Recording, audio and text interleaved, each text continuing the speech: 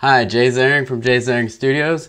Today I'm going to show you how I uh, make a 360 degree panorama and this is mainly going to be for posting to Facebook and other networks that will allow a 360 degree, degree image. This is not going to be for the spherical. The spherical is a whole different thing.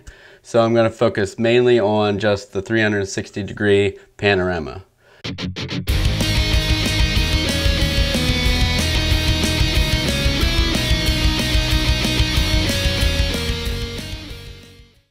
I'm going to show you what it looks like in Lightroom. Here's just a bunch of shots here.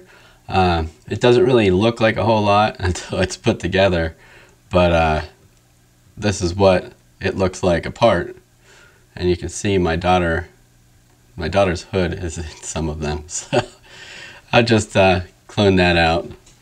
No matter which way I pointed the tripod, she seemed to get right in front of it. So it's a snow day, so she definitely had to be outside with me. And here we're in the I'm in the middle of the woods here because uh, I really wanted to get a good shot, a good, very large 360 and and a panorama of just all the trees completely covered like this. Just it's really neat.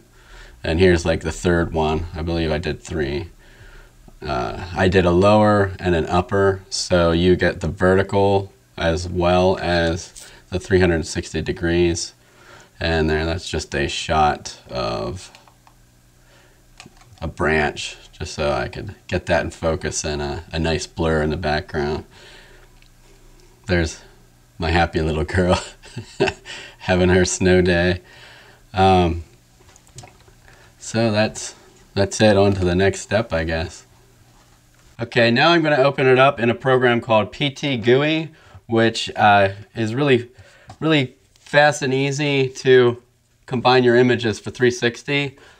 I would use Photoshop, but it just, it takes a little bit more work to do the same thing. And I'm a little bit jealous of everybody just using, just using their cell phones to do it. Uh, but the difference here is uh, I created an image that is well over a gigapixel so I can choose when I'm done basically how, how much sh I shrink it down and it'll allow me to have a bit more detail. So here we go, I'm going to open this up. We want to go to load images and here we go. I know which one I want to do first here. I think I'll do the difficult one. This one uh, my tripod was really straight when I started and I started at the uh, pine trees you'll see here in a minute.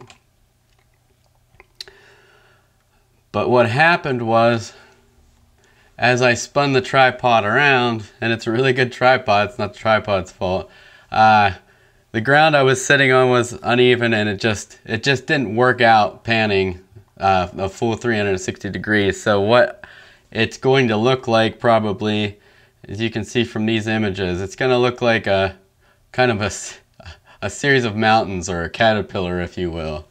So now I click Align Images, and this is 23 full frame uh, 6016 by 4016 images. And then what you want to do here is edit entire panorama selected, otherwise you're just going to be moving individual photos. And I just grab here, pull it up to kind of straighten it out, do the best you can here. You can see my barn. I'm trying to pay attention to the barn, that the barn is straight. So, so then you want to take your top and bottom if you just grab at the top here, it gives you this little yellow line. Just pull this down basically until you don't see a void anymore. Those little squares where it's just uh, transparent. And then you do the same thing from the bottom. And this program will automatically, I've uploaded two so far as a test.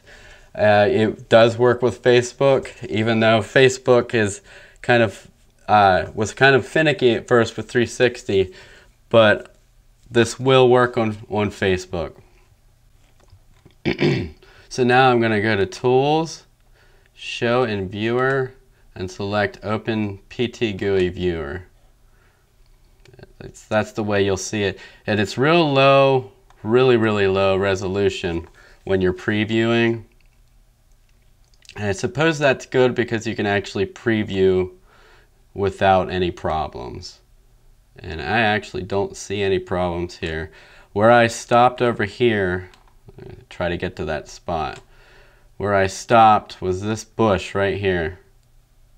And you can see it did an amazing job of lining everything up. So I'm happy with that. Gonna go back here, create Pano, and it's 35,169 pixels by 5,864. Facebook will not like that. So I'm gonna drop it down to, let's say 8,000. And if you have trouble the ones I uploaded so far were 6,000 to be safe, but Facebook's compression for images is pretty terrible. So this time I'm going to try uploading at 8,000. If it rejects it, I'm going to bump it back down to 6,000. But uh, I guess you'll find out from this video because I'm going to do this, I'm doing this all in real time here. So now you click create panorama and there you go. That's what it looks like. I'm actually going to take this in Photoshop because I do want to add some clarity and uh, add, uh, just brighten it up just a tad. But uh, I normally wouldn't do that to a JPEG. This does get output, output to a JPEG. But what you want to do, since it's formatted with metadata, that Facebook recognizes, you do not want to copy it into another document, to a new document, because it loses all that met metadata. You want to keep it, if you choose to edit it in Photoshop or your editing program, make sure you save it into the same file. Or Facebook may reject it. More than likely it will reject it. So what you're about to see is something I do to a lot, and I mean a lot of images that are landscape like this just to add a little bit of clarity and sharpening without noise. And uh, I'm gonna go back to Topaz Labs again. They make I in my opinion some of the best plugins for Photoshop. That they're really high quality.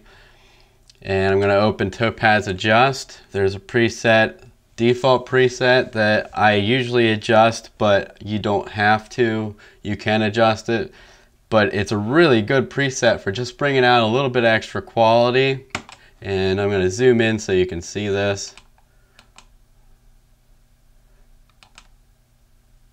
Try 100% here. And I'm gonna when I click it, you will see the before. When I let go, you'll see the after. Here's before and here's after. You can see what a huge difference it makes. And this line, this tree line here, really makes that stick out against the sky. And I do wish the sky were a little bit more blue, but that's how it looked today again. Uh, until closer to sunset where it was absolutely gorgeous. So, gonna click OK on that and I'm just gonna control S save go to my J. Zaring photography Facebook page you can do this with pages just like uh, an individual user just click on write something click photo click your panorama and we'll see if this uh, if this 8000 pixel wide image works with Facebook but uh, it automatically recognizes it. I'm going to zoom in here. It automatically recognizes it as a 360 degree photo because uh, the program PTGui creates the metadata to tell Facebook, hey, this is a 360 and a whole lot of other things that I don't really know about it. Uh, it's, it's, there's some code involved. All I know is it makes it work and that makes me happy. Then what you want to do is you just type in whatever you want to type, uh, wait for Facebook to load it, and you can pick a thumbnail that people see by default. And because there's a really cool barn in this with some pine trees, that's what I'm to do. And you just click Edit 360 Settings, scroll on over to your spot where it looks the coolest, the most appealing, and then hit Save and Publish. And it did accept my 8000 pixel wide photo. So that makes me very happy. I hope you enjoyed this tutorial. If you have any questions, leave them in the comments or anywhere at the end of this video. You'll see links to every everywhere on social networking that I am. Thank you so much for watching. Please subscribe and tell your friends. Keep creating and keep it awesome.